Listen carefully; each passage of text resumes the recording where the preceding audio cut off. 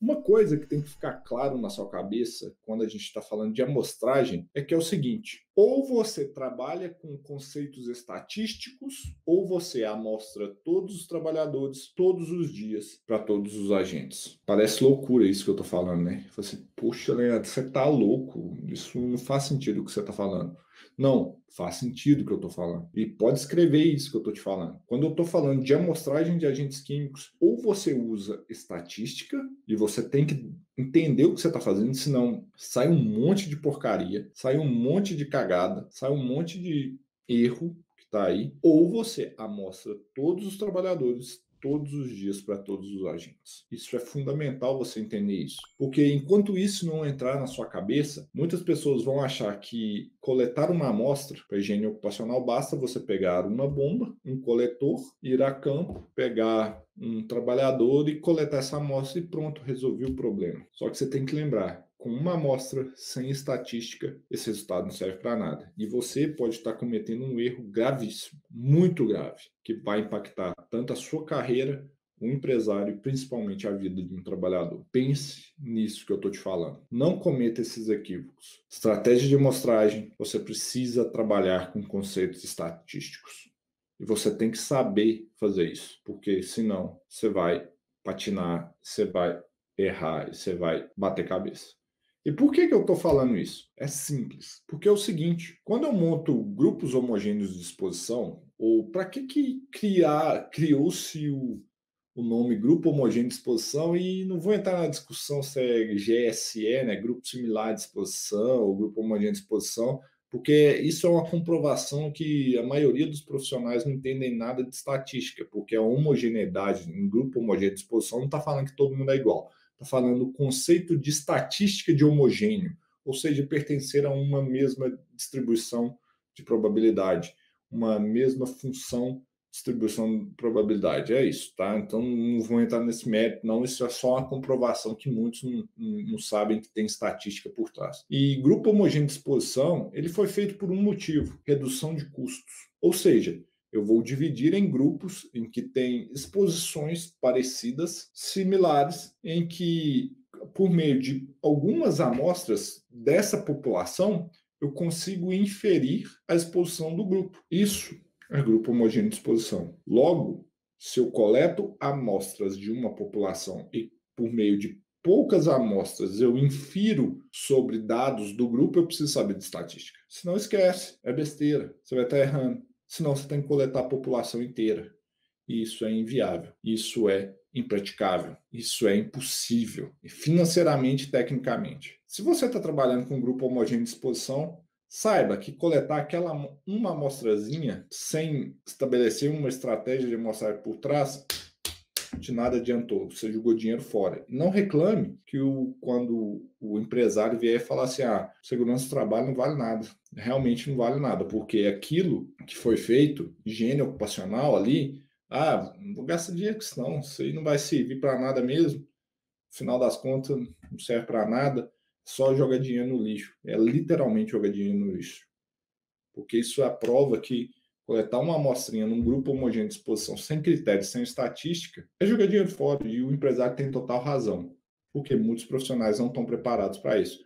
Muitos profissionais acham que dá para fazer mágica com higiene ocupacional e faz um tanto de erro e isso que leva à desvalorização da área. Não sei se você concorda comigo. Quando eu estou falando dessas questões de estratégia de amostragem para isso, e o que é amostragem STEL? Tá aqui, ó, opa, aqui, ó, meu quadrinho existe uma frase muito importante que eu falo é o limite é rei. E da onde que veio isso? Eu falo que o limite é rei é porque muitas pessoas também não entendem que quem manda na higiene ocupacional é o limite.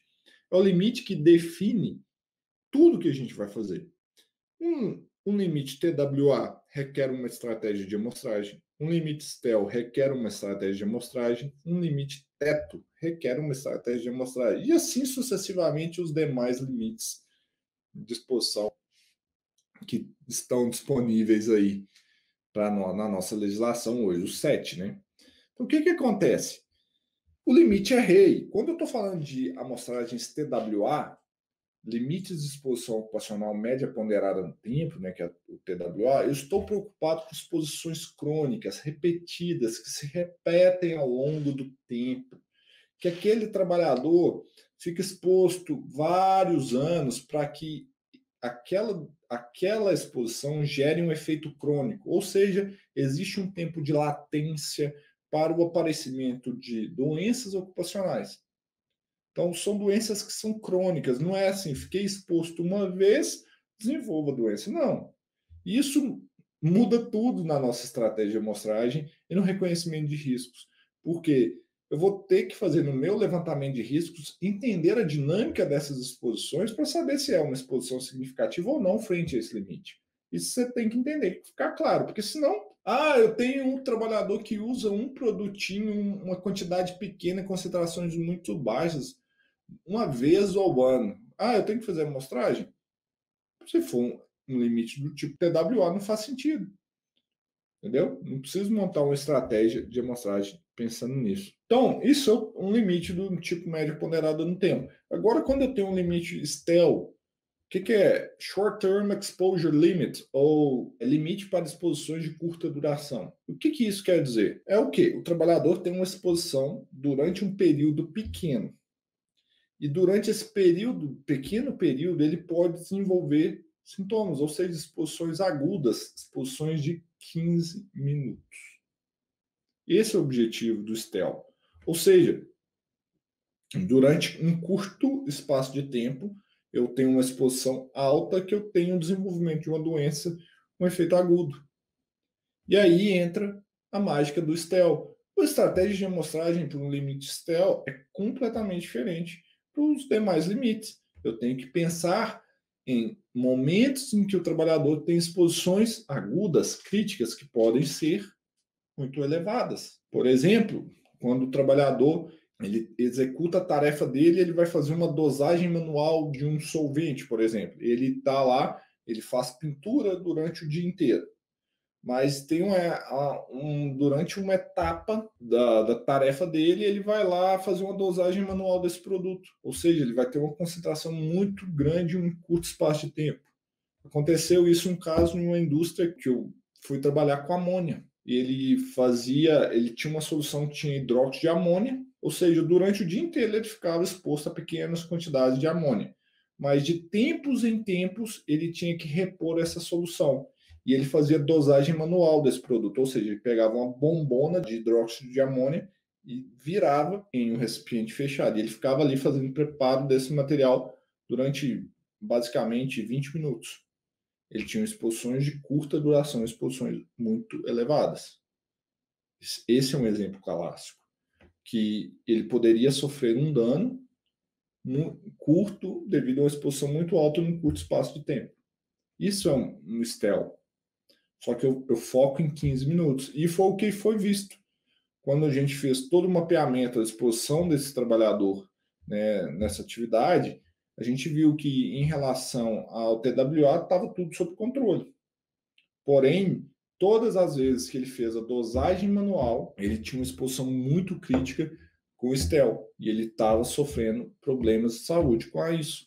Inclusive, foi evidenciado nisso quando a gente foi buscar no posto de saúde da empresa as queixas que ele tinha. Ele tinha várias queixas a vários momentos, entendeu?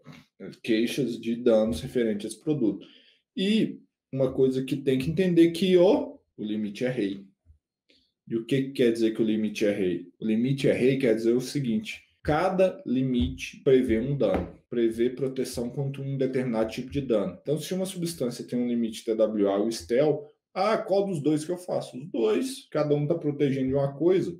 É isso que a gente tem que focar quando trabalha com esses limites. É isso que o profissional tem que conhecer. Né? Uma estratégia de amostragem para atendimento a um limite do tipo média ponderada no tempo, ou TWA, você tem que pensar em baixas vazões, vazões mais baixas, para cobrir o maior tempo possível da jornada. Ou você pode fazer várias coletas com vazões maiores mas o objetivo é cobrir a jornada de trabalho. Porém, quando eu estou falando de Stelo, estou falando de amostragens de 15 minutos em momentos específicos aonde há exposições mais elevadas, onde esse trabalhador está mais exposto. E eu faço várias coletas para saber se ele tem cumprido ou não o limite. E é isso que muda o jogo. E eu espero que eu tenha ajudado. Vocês gostaram desse conteúdo, se sim, a única coisa que eu quero pedir para vocês é clica no joinha, clica no, no like aqui para mim, me ajuda nesse distribuir esse conteúdo aí para mais pessoas. Se você gostou, compartilhe isso com mais pessoas que isso aqui pode ajudar, mais pessoas que vão ser impactadas com esse conteúdo. Se você não está inscrito no canal do YouTube, se inscreva, criatura. Tem conteúdo toda semana aqui para você, conteúdo massa, para você ir para frente